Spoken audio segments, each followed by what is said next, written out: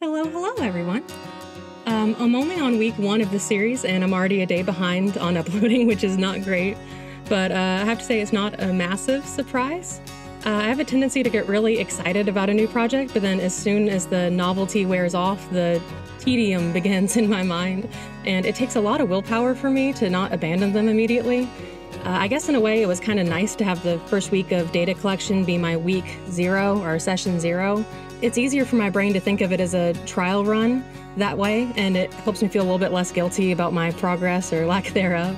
Uh, one caveat I will bring up before I share my training log from session zero, week zero, is that I was out of town visiting family on Thursday through Sunday, and I don't want to use that as an excuse or anything but rather see it as a learning opportunity. So, like maybe reflecting on this with that in mind will allow me to think ahead on how to improve next time I'm out of town or figure out why I have a much harder time adhering to these habits when I'm not in my usual environment or around certain people.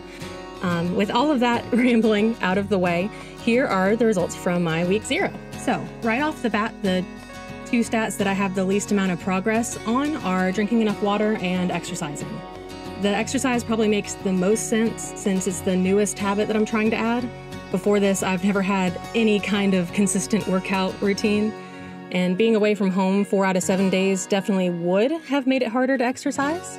But if I'm being honest, I didn't really have any kind of plan in place to exercise throughout the week. Uh, a few times I sat down and I looked at my training log and thought, yeah, I should work out. And then I never really got around to it.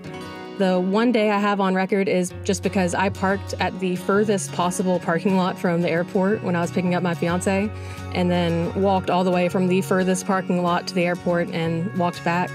So consider that was a pretty good walk. I definitely got over my 10,000 steps. Uh, I think going forward, though, having some kind of plan in place, like I'm going to work out on Tuesday and Thursday, would help me be a little bit more consistent with that one.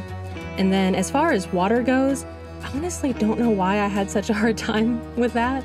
Um, I have this giant, colossal water bottle. I'll put up a picture over here. Um, it's a half gallon, and I always try to carry it with me. It's got a handle and a wrist strap, so I always have it on me. I try to bring it everywhere I go. I brought it while I was traveling, and I have it at my desk while I've been working, like all the time. But I think I've only filled it up a total of like three times the entire week, and I should be drinking at least like one bottle a day, one full half gallon.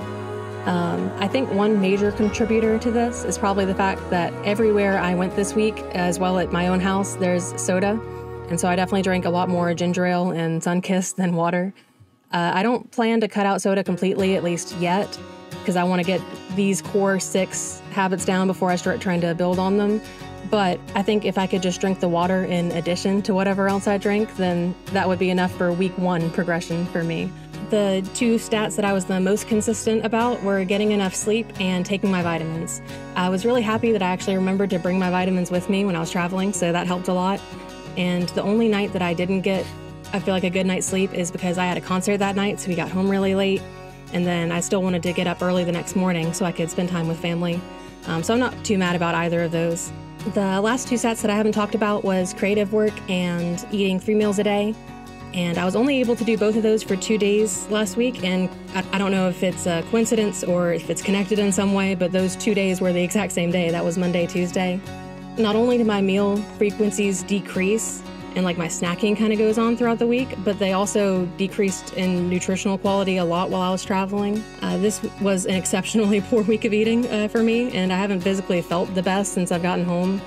So hopefully that'll provide a little bit extra motivation for trying to eat better this week. I also want to plan a little bit better in the future for travel by making sure that I have some like protein bars or something uh, for easy breakfasts and it would also be an easy alternative to the less nutritious snacks that I was eating while I was away. The creative work probably makes the most sense given the fact that I was traveling. On Wednesday, I went to pick up my fiance from the airport, and then I wanted to actually spend a little bit of time with them since uh, they've been away for a little bit. And then the rest of the week, I was away visiting family. And it would have been significantly harder for me to try to make videos or to do any kind of crafts while I was away since I didn't have access to my usual equipment. And also, I feel like it would have cut down on the quality time I was able to spend. That was the whole purpose of me traveling was seeing family. So I wanted to spend that time with them. Um, hopefully, this week I'm planning to be home pretty much the whole week, so I'll be able to be a lot more consistent with this. Overall, the results are pretty much what I expected. I hit the ground running, but then as soon as the novelty wore off and life got in the way, I kind of fell off. As somebody who's really struggled to gain consistency with pretty much everything, it is a little embarrassing to share this, even though I know the reality is that pretty much no one will ever watch this.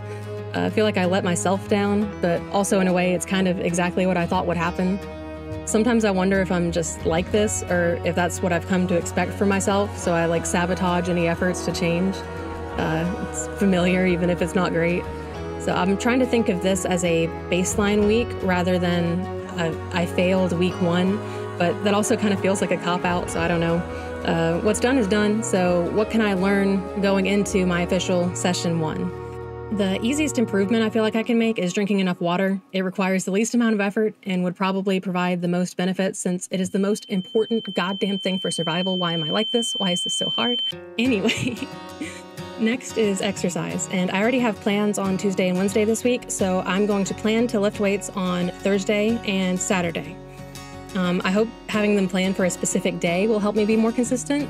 My one fear with this, though, is putting everything off towards the end of the week will screw me over because it was the last half of my log that has the least amount of little mushroom stickers on it.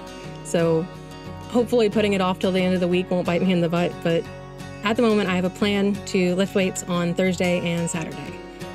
I was pretty good about taking my vitamins and getting enough sleep last week, so I'm just gonna try to keep that momentum going.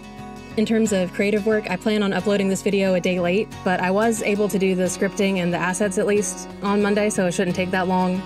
Uh, Tuesday, which is today, to record and then edit and upload. Then the rest of the week for my creative work, I'm going to focus on. I'm trying to crochet my wedding bouquet. I'm trying to crochet all the little flowers, so I'm going to do that. And then I also have some resin projects that I started last week before I left that I would like to get sanded and polished up and get them all finished. And now I wanted to talk a little bit about the format for this.